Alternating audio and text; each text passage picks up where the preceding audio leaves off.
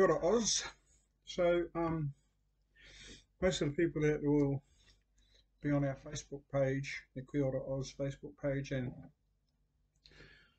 um, our YouTube channel will know us, so they'll know our story. Um, but for those that stumble across it or come and have a look at our page or our YouTube channel, we thought we'd just do an introduction video um, for a bit of context. So I'm Darren, this is Selena. Hi. Um, and um, we've been campers for oh, a long time, ever since our girls were babies. Babies. So what's that, 20, 28 years. Um, we started when the, when our eldest was just a, a baby with a borrowed tent. Yeah. I think it was Nick Chimney's tent, wasn't it? Borrowed tent and a little Nissan Pulsar and we loaded it up and away we went. Camped at Green Patch, I think. Mm. And then um, over the years we've uh, progressed. We bought a camper trailer some years ago. Um, and we had that for a while. Uh, and that was um, that was really good. Probably the best five or six thousand dollars we ever spent. Um, and we we did that quite a lot. Um, and we would um, camp with that. Um, then once our girls got too cool to camp with us, um, we decided that uh, we'd downsize that. We sold the camping trailer to my sister, Paula. Hello, Paula. And um, went to a rooftop tent and did a, quite a bit in that rooftop tent. Mm. During the height of COVID, we did Central West out as far as Broken Hill, halfway to Cameron's Corner.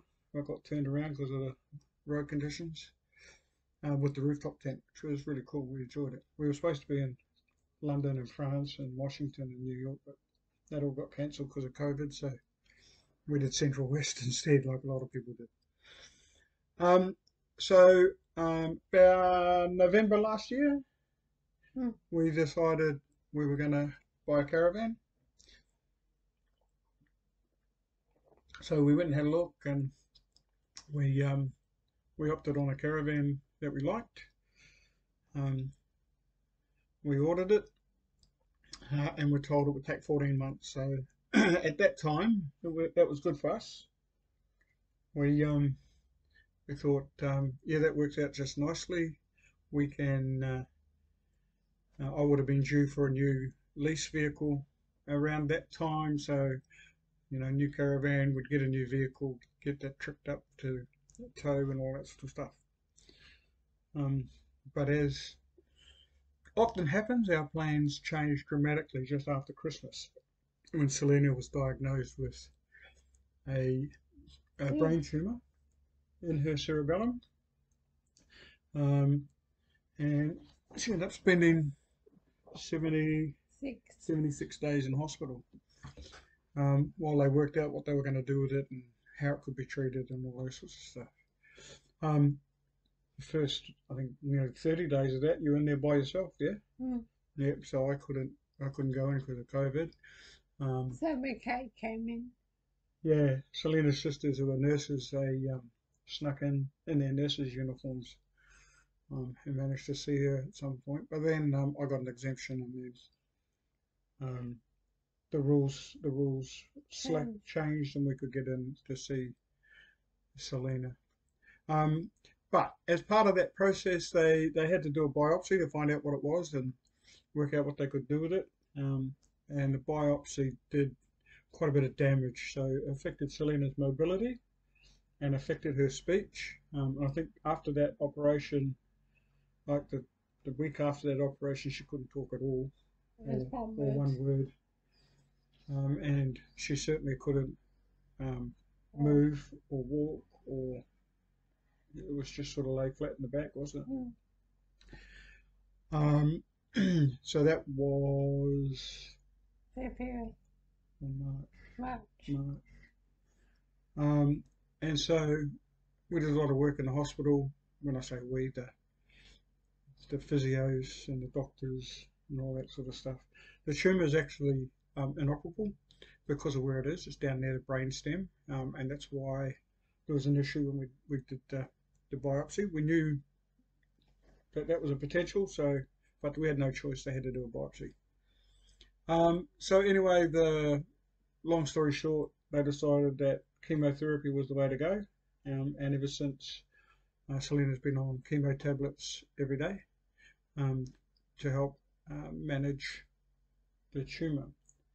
Um, we managed to convince them that she was well enough um, and self-sufficient enough to come out of hospital and come home eventually, um, but with a lot of support.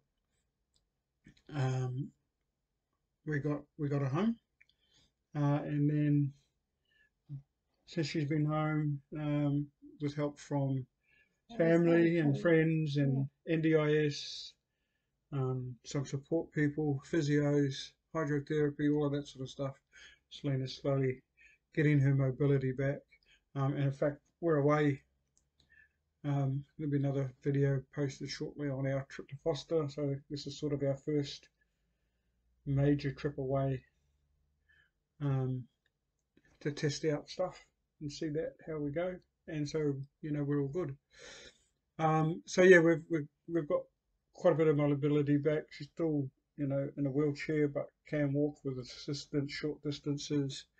Um, and you know the speech has come back. That's all good. So yeah, that's that's sort of um, messed our plans up a little bit um, to the point where um, I've decided to take early retirement. So I'm I'm retiring, and we're just talking to the finance guy at the moment to to get all all of our finances in place, ready for us to retire or me to retire. Selena finished work as part of the um, the tumour hullabaloo because she, she really couldn't go back to work. So, yeah, as in 22 or 23 days, um, I'm done. I'm retiring. Um, we're going to shoot over to New Zealand for a couple of weeks. We'll do a video and show you all of that while we're over there. We'll be, have a camper van over there. Um, then we're going to do a trip south to Melbourne um, to see the Melbourne crowd. Um, that'll be October and November, Phil. Our eldest daughter, who currently lives in the UK, will be back for Christmas. We'll have Christmas in Sydney. We have to work out something to do in January.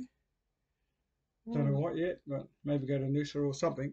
Um, and then, um, of course, the van arrives on the 9th of February, and then we're out of here basically. Mm. Well, we'll stay local, and then probably from Good Friday on, we'll start heading north and winter up in the Full of sun. yeah, winter up in the tropics. So that's a bit about us. That's where we're going. That's what's happening over the next six to seven months. Um, uh, if you're looking at this on the YouTube channel um, and you don't know us, hit the subscribe button. Or if you do know us, hit the sub subscribe button uh, and the little bell icon, and you'll get notified when we put stuff up. If you're looking at this on our Facebook page, click the follow link so you can keep up to date with what we're doing. Um, and we're going to try and make sure that we've got um, updates going up as regularly as possible so everyone can keep tracking us. And we did this originally, well, we did this extensively to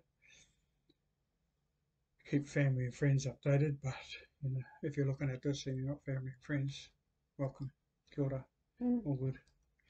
Um, feel free to follow us. Cheers.